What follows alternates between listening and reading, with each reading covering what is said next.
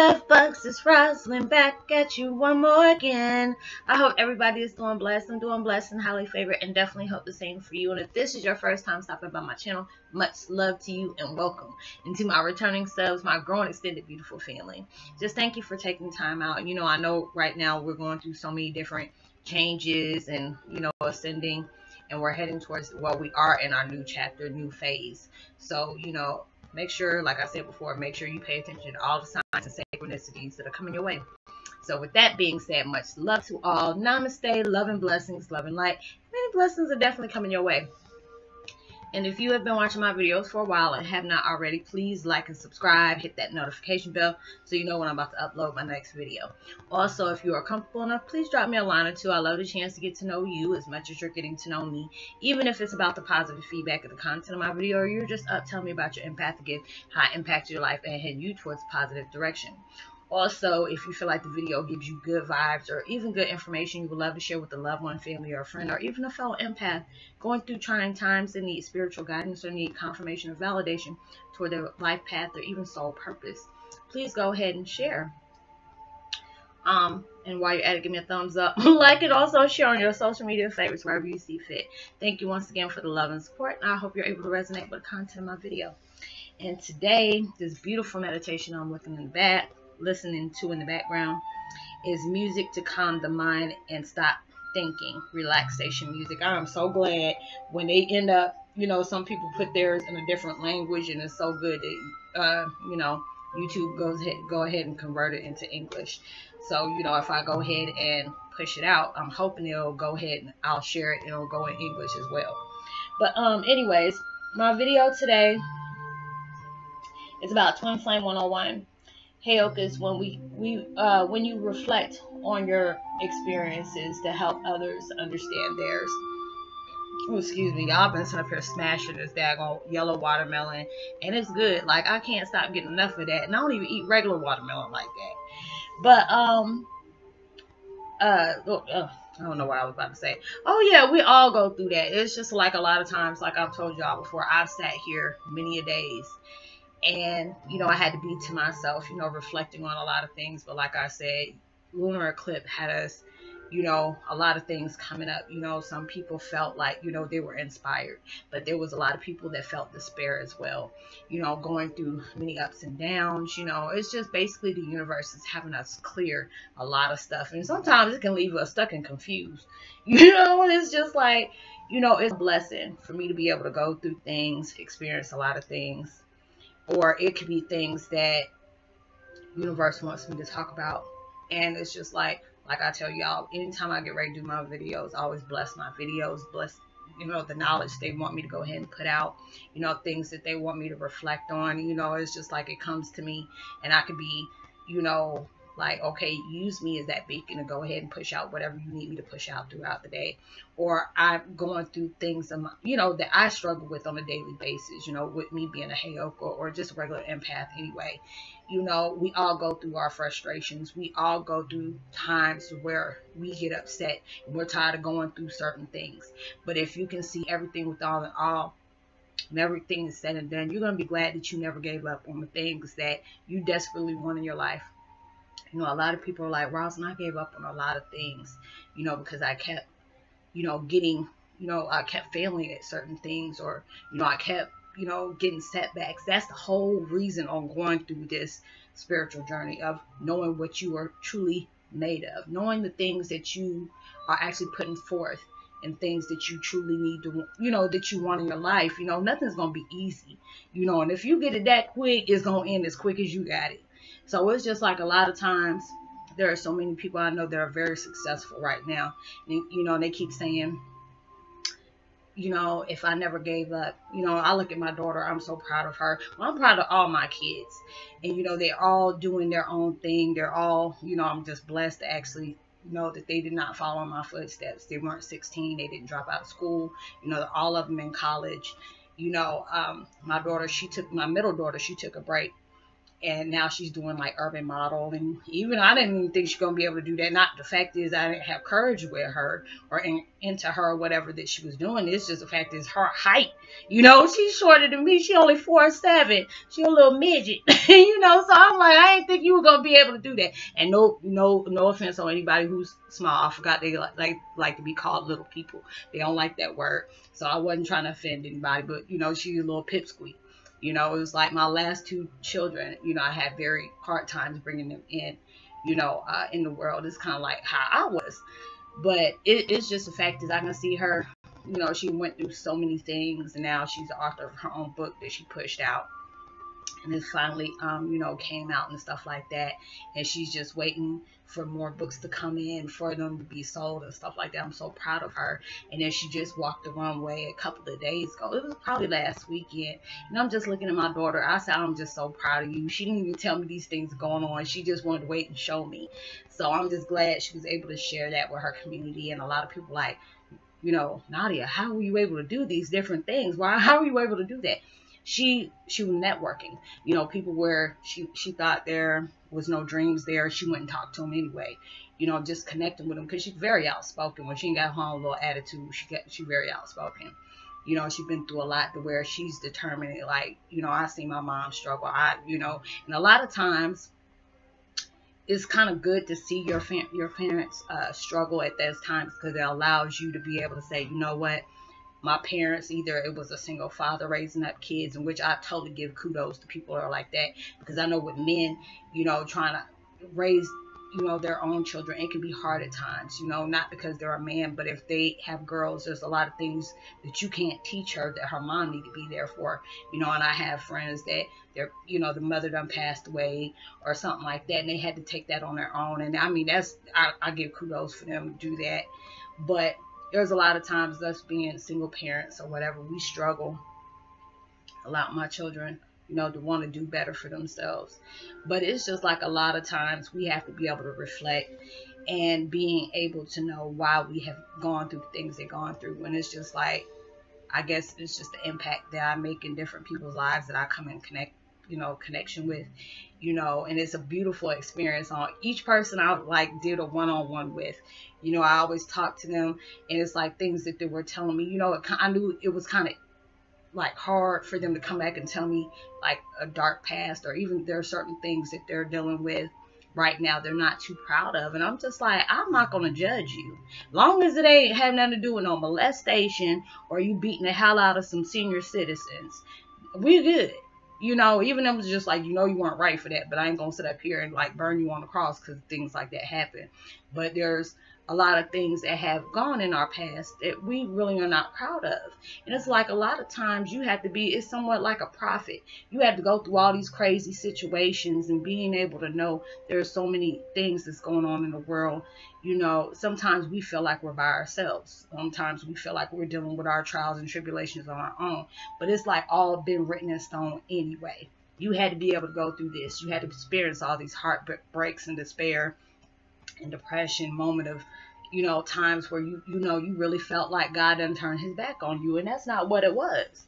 It's just the fact is a lot of times things that had to happen in our lives for us to be able to project towards other people that you said, hey, you know what, I've been through this, that, and the third. And, you know, I might, you know, you came out of it okay, even though you might not be, you know, like full blood stable at certain things. I'm not trying to say somebody's crazy or anything like that, but there's a lot of times we have been placed in certain predicaments where you're a blessing if you didn't go off and you know commit homicide or you know suicide or anything like that. A lot of us had near death experiences. I know I have. That's reason why I'm so connected with, you know, I'm kind of flighty. I, I'll, I'll trip over stuff that ain't there. You know, I can be in a physical world, but I can also be in the, you know, in the spiritual world itself. As soon as I said that, and my phone lit up.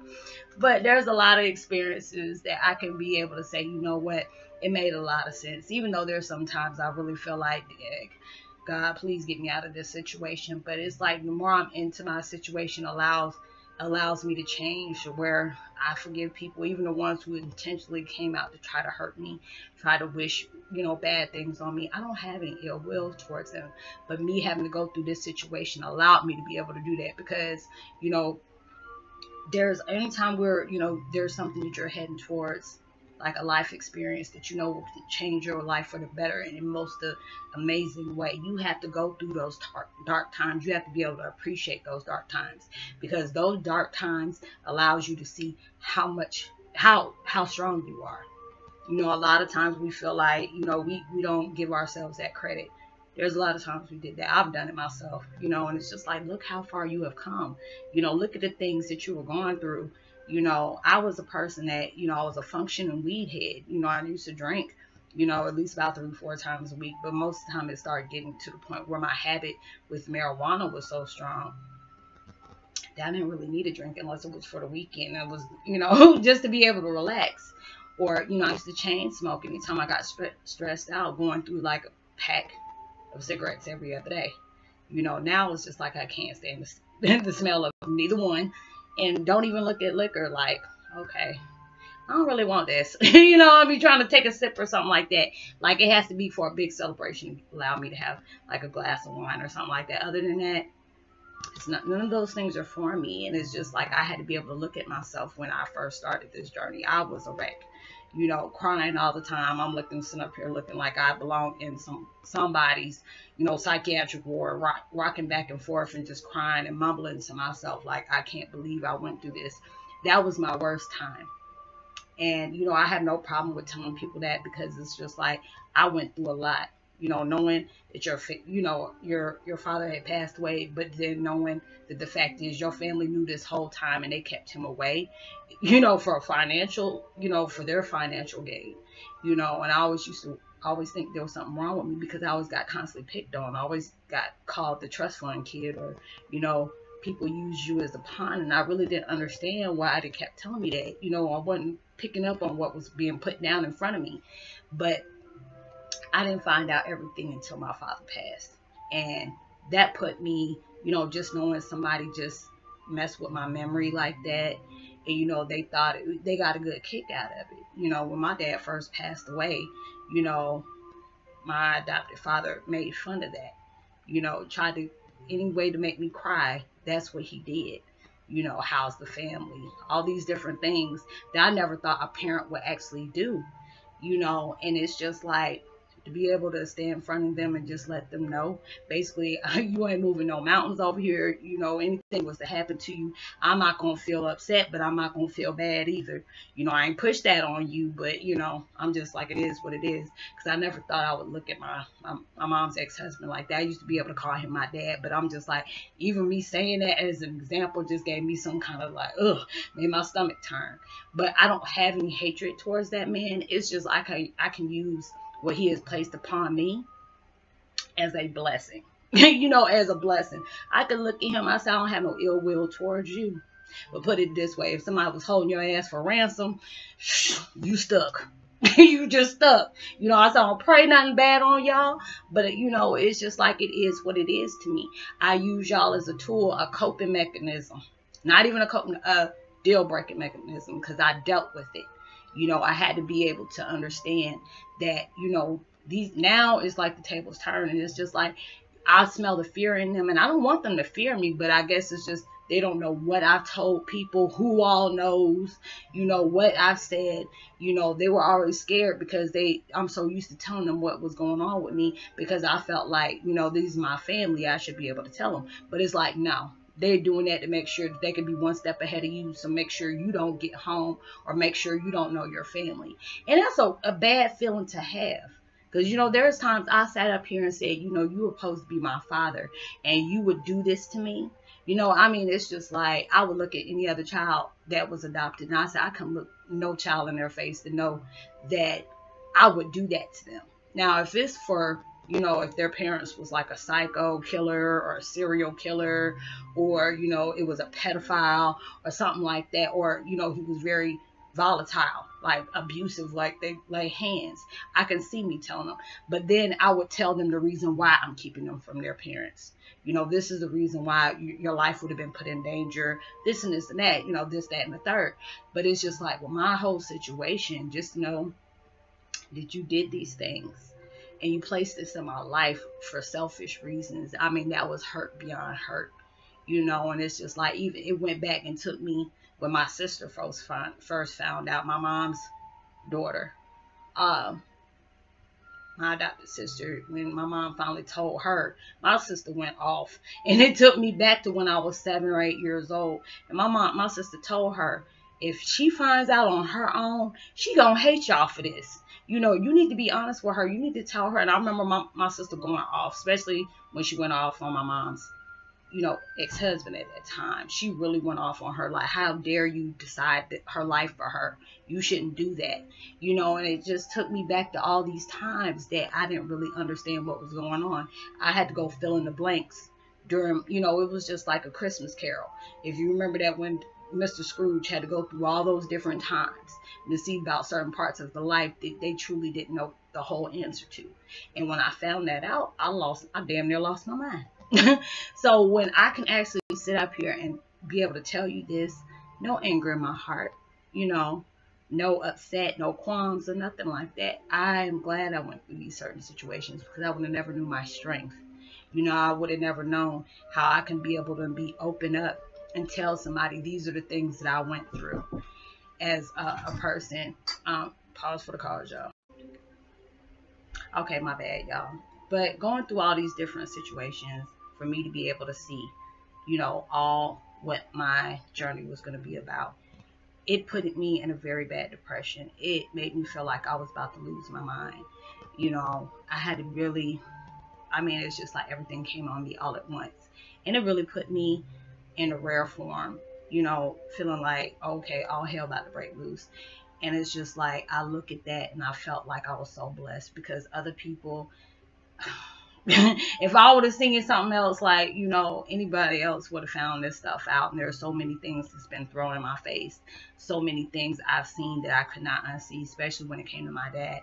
There was a whole bunch of songs I didn't realize that my dad has made for me that I really loved and didn't understand why it took effect on me in an emotional way. All these things came to play in my life for me to be able to be that open book. You know, I felt like, you know, I can tell myself now when I can sit up here and say something about my family or, you know, about my dad and not have any, you know, emotions about it. And that's letting me know I healed.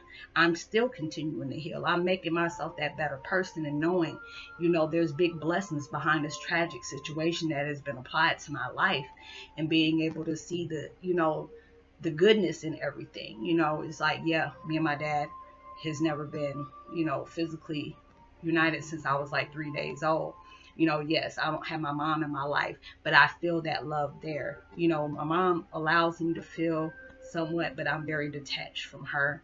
And I don't feel any, you know, any hatred on her or anything like that because I know I had my daughter at 16 and I knew a lot of that you know, it made me reflect a lot of times on when my mom gave me up. I know that had to be very hard for her, for her. But I know it makes me feel like if I was to re-enter her life, that will open up a whole lot of wounds that she don't want to feel anymore. So, and I think she really has guilt on the fact is I never got a chance to meet my dad. She kind of feels like she was at fault for that, but it's not you know, I just have to be able to look at it in a positive perspective, in a positive state of mind, you know, knowing everything had to happen for a reason. You know, there's a lot of things that's not really being said or anything. There's a lot of things going on behind the scenes I'm not really aware of, but it's just like God keeps on telling me when you heal, you stay focused. When you stay focused, blessings, blessings, and more blessings. So it's me being able to help others to know that even things, even though things have been applied to your life that you know can really put you in a, a negative state of mind. It makes you want to do some detrimental things. Just being able to know you're in a certain situation for a reason is going to make a positive impact in your life. You just have to be able to feel it that way. And it's just like when i feel my situation being able to open up and tell people this you know and there's so many people that you know can kind of relate to certain things that I, you know I've talked about. But it allows me to be that open book to let you know the things that pop you know popped in my life that I wouldn't wish on my worst enemy. You know it, it's just the fact is what trying to heal and not really have closure you know it's been really hard for me. But on top of that you know, it was able, it was making me an open book to be able to let people know this is what happened just because of who my father was. You know, there's a lot of things that I felt like my dad kept behind closed doors because he wanted to make sure I was protected.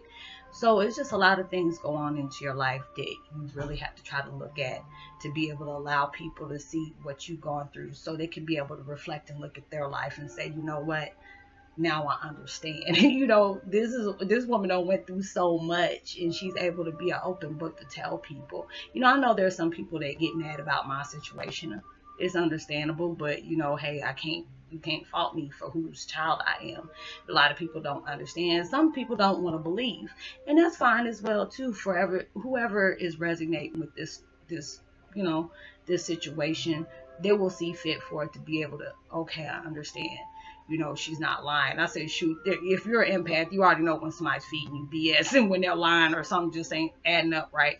But other people, they just don't want to see things that's in their face. But, you know, I hope you were able to, you know, resonate with the content of my video. Just let me know if you do.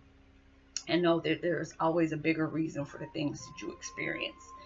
You know, so hopefully I can be able to give you that situation, being able to be that open book for you to be able to look at your life and say, you know what, you're going to heal. You just have to take that, you know, day by day. So I'm not about to give all the shout outs and stuff like that, but, you know, thumbs up, share, subscribe, hit the bell, you know, uh, drop me a line so I can be able to give you a post notification shout out. And I'll see you in my next video. Much love. Peace.